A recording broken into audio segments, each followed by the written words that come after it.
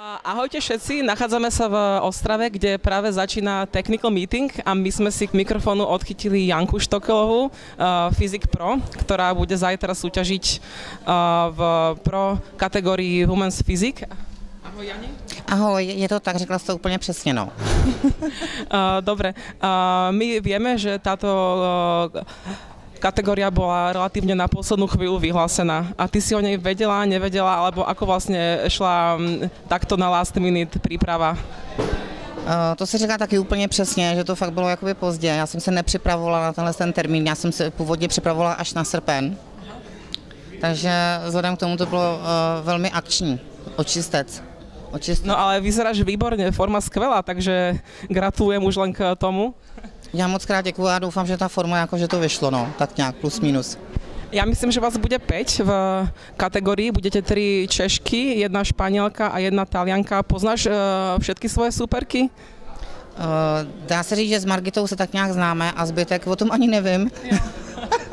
takže, takže nemůžu říct, no a uh-huh. asi to ani neřeším, nevím. Hovorila si, že potom máš ta súťaž ešte v srpnu, auguste. A čo, čo to bude presne za súťaž? Eh, není to ještě jako stoprocentní, poněvadž je to zase srpen, je zase trošičku, že jo, to je to dva, dva měsíce, počítám správně, takže je to docela dlouhá doba, ale měla jsem v úmyslu na, na Floridu, na Tampu, na Aha. závody. Ale jestli to vyjde, to nevím, protože zase na druhou stranu, jak jsi si všimla, tak jsem tady z komplet family, takže mám s sebou i moji tříletou holčičku, takže i vzhledem k tomu je to trošičku takový jakoby náročnější někam odlítat a být někde pryč, protože zase všude jí tahat nemůžu, že jo? takže ano. je to takový náročnější. No. Takže ještě stoprocentně nevím. Dobré. Uh, chystáš se potom zajtra nějak zhrešiť trochu nutričně? V žádném případě. Já to budu držet až do Vánoc. no to samozřejmě, samozřejmě, decentně, určitě. Mm, takže skôr slané, sladké, alebo oboje? Já, já pokud můžu, můžu poprosit, tak já bych zmrzlinku, zmrzlinku. Hodně zmrzlenky, rozhodně. Dobre, takže my, my ti budeme držať palce zajtra a potom sa s tebou ešte spojíme. Ahojte všetci, mám tu pred sebou pro fyzik pretekárku Margitu Zámolovu. Je to pre teba druhá alebo tretia súťaž v, na pro podiu? Už je to tretia súťaž a moc sa na to teším. A ty si obsadila pred, pred pár dňami úplne úžasný výsledok na New York Pro. Prezrad nám. Z 20 závodníků jsem skončila třetí, co jsem vůbec nečekala, tak jsem si řekla, že chci být mezi prvních deset, tak to bude dobré a pak nakonec říkám, no tak šestá, tak docela mě to překvapilo, ale příjemně a mám z toho obrovskou radost. Uh-huh. A hneď pár dní na to vlastně si v Ostrave. Plánuješ ještě nějaké další závody teraz? No tak uvidíme, jak to, jak to dopadne a podle toho se rozhodnu, jestli ještě si vyberu nějaký závody. Chtěla bych eh, eh, pozbírat nějaký body, abych se dostala na Olympii do Las Vegas. To je mým cílem. Ste tu vlastně zajtra tři české superky, eh, jedna talianka, jedna španělka. Poznáš svoje superky všetky? Ano, určitě už jsem s nima závodila, znám všechny takže vím, co mě čeká. Uh-huh. A vlastně teraz je top trend v USA Shanik Grant, čiže vlastně velmi úzký pás, široký chrbát v Európe. Očekáváš nějaký jiný trend, alebo ako to vidíš? Tak samozřejmě, když má někdo eh, široký ramena, úzký pás, eh, trošku širší boky, prostě jako přesypací hodiny, vždycky to vypadá líp, než někdo, jak vypadá jako dřevo se postaví, tak vždycky to upřesní, jakože upřednostní no, budu se snažit. Ja, ja ťa vidím celoročne v top forme, v podstate súťažnej. Prezrad nám, ako to robíš?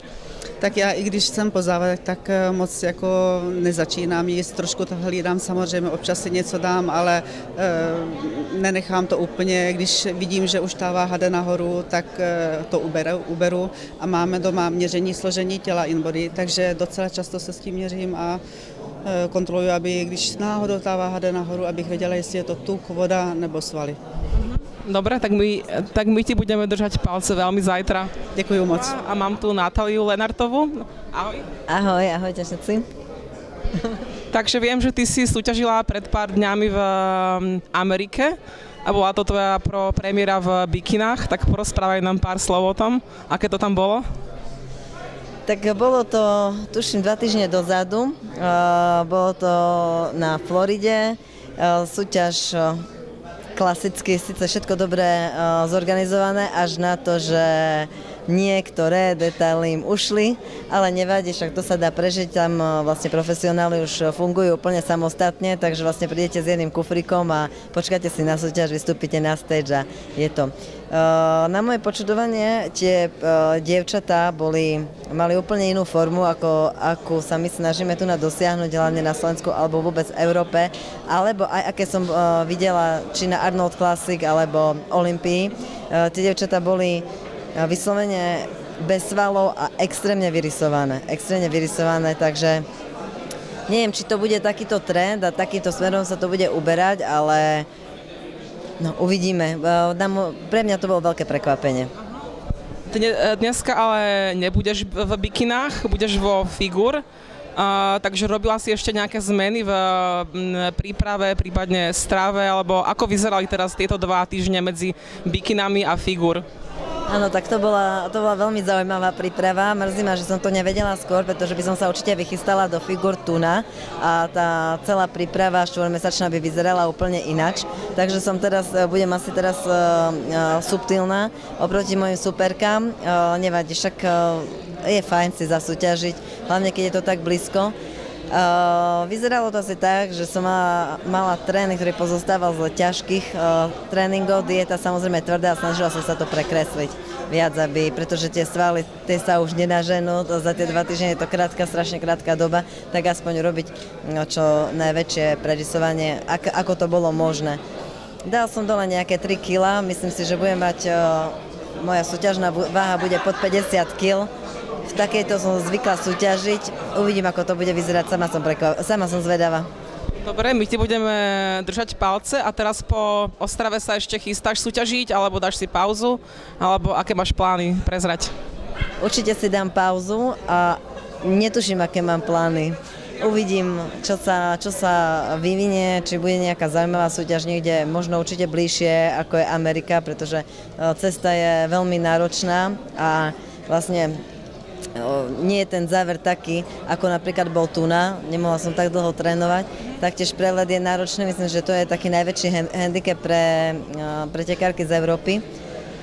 Takže uvidím, či budem pretekať, nebudem pretekať, možno, si, možno prídem na pódium opäť, ja neviem, o dva roky, ale pre mňa sú zaujímavé kategórie masterské, že som prekročila vek 35 rokov, možno sa budem sústrediť práve na to. Mám, mám tu teraz pred sebou českú trenerskú hviezdu, pána Pajča, ktorému ho, hovoria mnohí aj pro creator a, a champion maker. A ja viem, že teraz aktuálne na týchto závodoch máš aspoň štyroch pretekárov, pokiaľ sa nemýlim, alebo koľko ich je? Dva jsou takový, kteří už jsou zkušení a s kterými jsme přijeli pro výsledek. Jsou tady potom ještě další dva a ty se otrkávají a rostou nám do, do někoho, kdo ten výsledek může očekávat následně, takže super, tešíme sa. Aha, tak uh, porozprávaj mi uh, aspoň niečo malo o tých dvoch, ktorí čakajú nejaký výsledok, možno lepší dúfame? Je tady Míra Přibáň do kategorie Men's Physic, s tím už jsme závodili letos na Maltě, na Diamond Cupu, kde bral bronz, ale to byl pro nás takový zkušební závod, jak bude reagovat na dietu, na superkompenzaci a vlastně na tu finální přípravu. Zítra už ta forma je vyloženě taková, že by měla být finální na to, aby na pódiu předvedl to, co umí a že by to mělo být optimální, takže tam teda věřím a zaklepu tady, že doufám, že to dopadne tak, jak má a tak, jak bychom si přáli. A Štěpán Ginsel přestoupil do kategorie Muscular Men's Physic a bude vypadat velmi dobře, trošičku se potýká s nějakýma zdravotníma problémama, ale, ale ta forma graduje taky tak do toho, do té finální podoby, že je to zkušený závodník, takže všechno zvládne. Ty o, okrem českých závodníků máš aj nějakých Slovákov možno pod taktovkou, prezrať nám? Uh, nejenom Slováky, víceméně závodníky mám dneska už rozházený trošičku více, jakoby, po celém světě což je super, ale na Slovensku působíme hodně a doufám, že budeme působit čím dál tím víc, protože vaše základna je výborná a ty závodníci přichází s tím, že se chcou posunout dál a oslovují nás na spolupráci, my jsme za to rádi a těšíme se. A kam, kam se teraz chystáš po Ostrave? Čo jsou naj, eh, nejbližší závody? No, tak nějak doufám, že díky výsledku, který se tady snad povede udělat, se vyhnu Portugalsku, abych nemusel cestovat zase příští týden, ale určitě za 14 dní Marbella ve Španělsku Olympia. Ahojte všetci, takže uh, treťou pred kamerou máme taliansku profičku Dojnu Gurun, ktorá sa kvalifikovala do pro v kategórii figur, dneska ale bude štartovať ako Physic Pro. Ciao Dojna, è un grande piacere.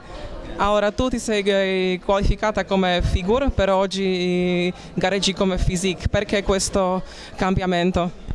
Dunque ho deciso di cambiare categoria perché mi sono resa conto gareggiando l'anno scorso negli Stati Uniti in figure che mm, il mio fisico è più predisposto o meglio ha una struttura un po' più imponente rispetto alle figure, alle figure americane che sono un po' diverse da quelle europee come amatori rispetto a prima. Per cui questa esperienza che ho fatto mi è servita l'anno scorso, mi è servita per, per capire dove, dove, era il mio posto e quest'anno debutto, debutto questa gara come, come prima gara per anche poi sistemare il tiro e capire dove devo migliorare perché comunque ho ancora tanto da migliorare in questa nuova categoria. Okay.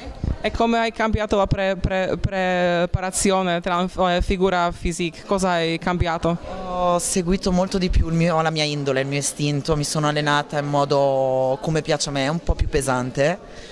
E, um, ho cercato di lavorare molto di più con la dieta per riuscire ad avere una pelle più bella.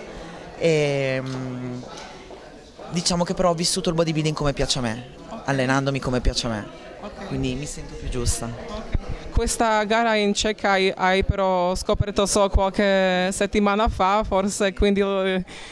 Infatti io ero in corsa per fare ehm, Alaska al 24 di giugno e ho avuto questa occasione, anche se l'ho saputo due settimane prima, ho avuto questa occasione da sfruttare perché comunque sono vicino a casa e anche come prova generale diciamo per me. Quindi, oh. ah, quindi gareggi prossimo mese in uh, Alaska?